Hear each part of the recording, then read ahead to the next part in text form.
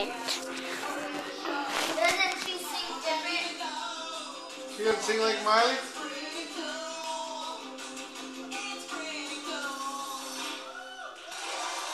It said the Miley Cyrus show